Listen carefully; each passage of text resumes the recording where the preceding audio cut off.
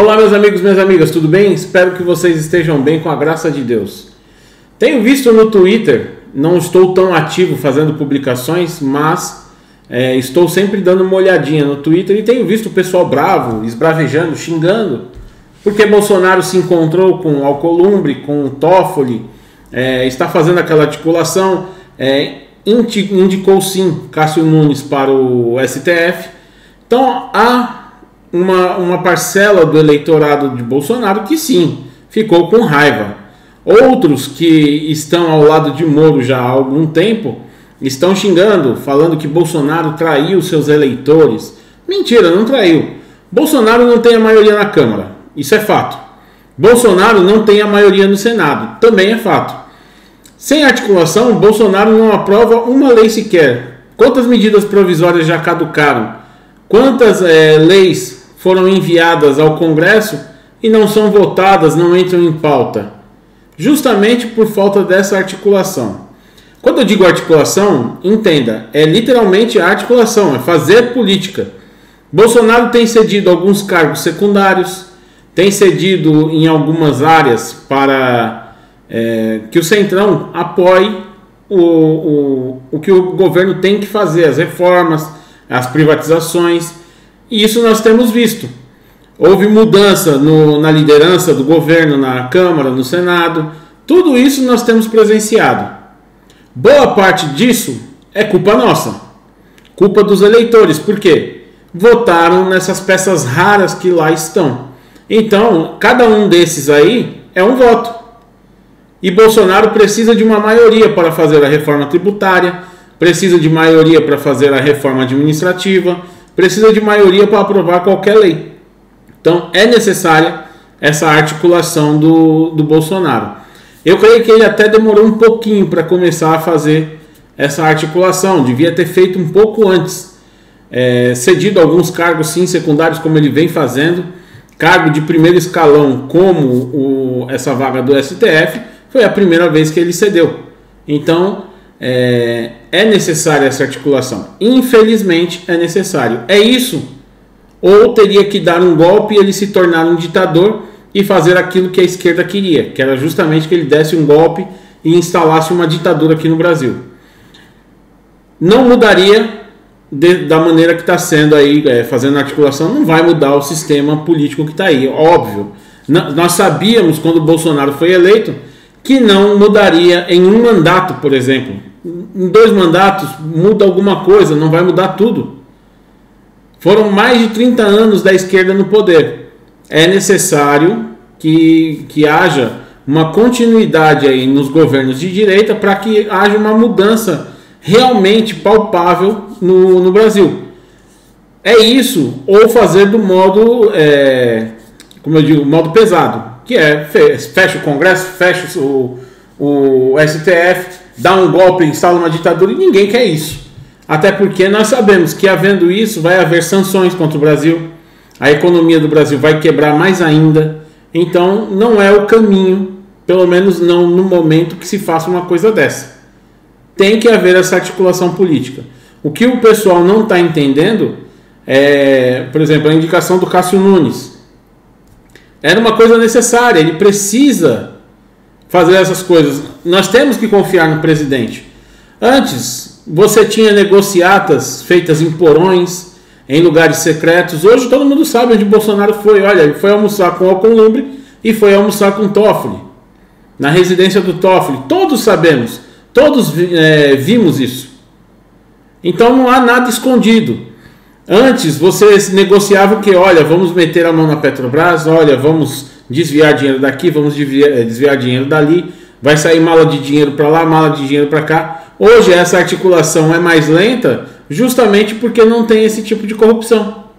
Se tivesse mala sendo distribuída de dinheiro, nós teríamos, é, nós teríamos aí aprovado diversas reformas, a imprensa não bateria tanto no Bolsonaro todos os dias como bate, teria mudado de postura, só Bolsonaro liberar o dinheiro para a imprensa.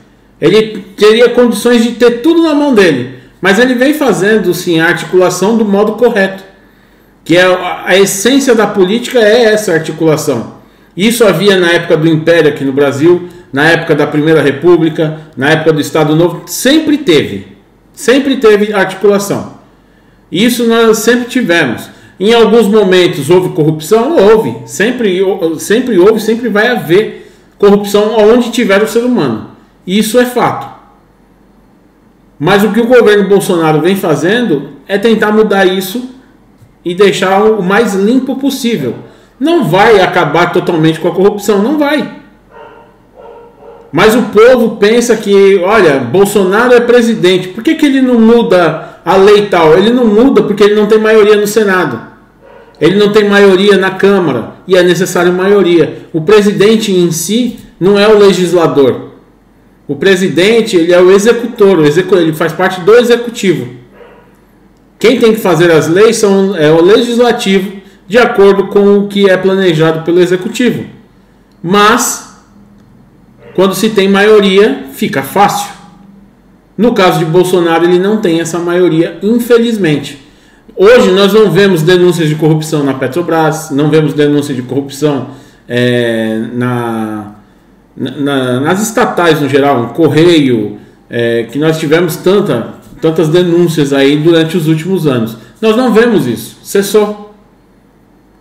Acabou totalmente? Não, com certeza em algum ponto você vai encontrar algum desvio, algum, desvio, algum funcionário que desvia alguma coisa. Isso você sempre vai achar. O ser humano é falho.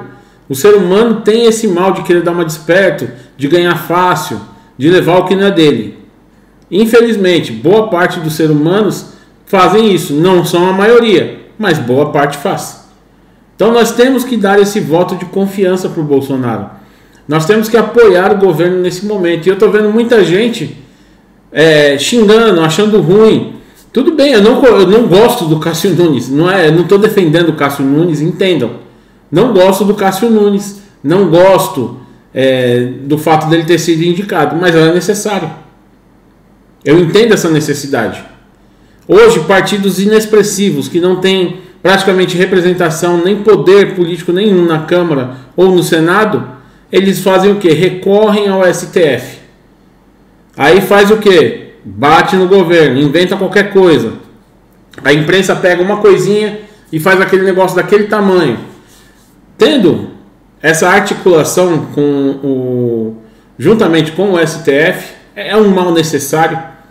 A instituição STF é uma coisa boa para o Brasil. A instituição. O problema, sim, são as pessoas que ocupam as cadeiras dessa instituição nesse momento. E isso é problemático. Mas vamos fazer a articulação, vamos tentar ali fazer o melhor possível. E é o que o Bolsonaro vem fazendo, de acordo com as possibilidades. É isso, ou a gente tem um derramamento de sangue enorme no Brasil. Que nós sabemos que se houvesse um fechamento do Congresso e do STF, haveria sim derramamento de sangue. Não pensem vocês que todas as Forças Armadas apoiam Bolsonaro.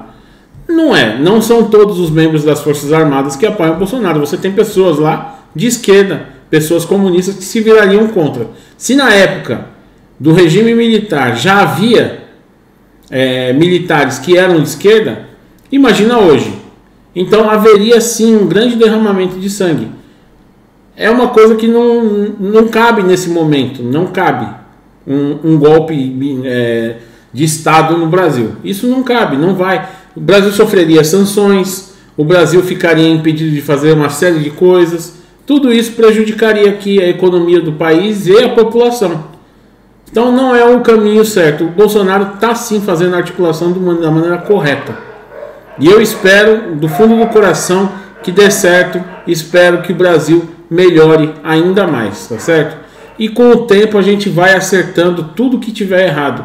Mas isso leva tempo, leva muito tempo. Não vai ser em um, nem dois anos, nem três anos. Não vai ser em um mandato e nem em dois mandatos que vai se consertar tudo.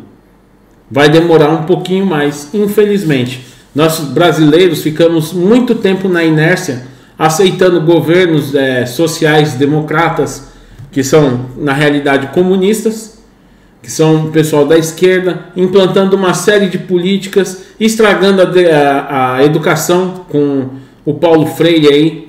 Hoje você pega um aluno do, do ensino médio, por exemplo, mal se você ah, pegar 100 alunos, uns 10 vão saber interpretar um texto. Ele consegue ler as palavras, consegue saber o que é as palavras, mas não consegue entender o que o texto está dizendo. Então, é, é são pessoas que para mim ainda continuam analfabetas. Ela sabe ler a palavra, mas não entende. Então, a gente precisa assim de muito tempo. Eu creio que vai em torno de uns 30 anos aí para o Brasil é, ficar do jeito que a gente deseja hoje, tá certo? Então, é, nosso, nosso maior negócio aqui agora, nesse momento, é apoiar o governo Bolsonaro. Nós temos que apoiar. Não podemos é, é, entrar em debandada, não podemos entrar em conflito nesse momento. Temos que estar unidos. Porque é, nesse momento é crucial e vai influenciar muito na eleição em 2022. Tá certo? Eu espero realmente que Bolsonaro se eleja logo no primeiro turno. É, essa é a minha esperança e eu sei que não temos uma outra saída melhor para o Brasil. Um grande abraço aí, que Deus abençoe a todos.